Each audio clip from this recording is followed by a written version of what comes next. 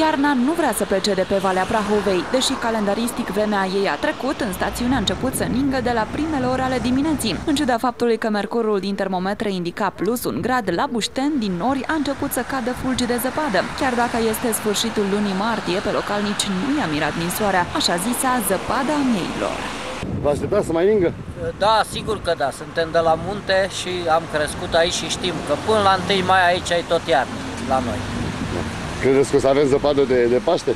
Precis, precis. Au fost Paști unde era de o jumătate de metru zăpadă. S-a întors. E frumos. Este primăvară la munte, dar iată că se apropie din zăpada, probabil că e zăpada mieilor, ultima zăpadă din an. Pe munte încă avem zăpadă destulă. Așteptăm turiștii în weekend să vină cât mai mulți la noi la Buște. Nu sunt surprins pentru că uh, a venit și ea târziu și văd că s-a menținut tot timpul așa, nu uh, a venit și s-a luat imediat, a avut constant, a stat tot timpul. Asta e, ne așteaptă încă o rând de iarnă sau vine chiar primăvara de adevărate. Să sperăm că vine primăvara și că asta e zăpada mieilor. V-ați Că săturat tot de, vin miei de Paști. v-ați săturat de zăpadă. M-aș bucura de aș mai prinde o zi de schi. Dar tot primăvara e mai frumoasă.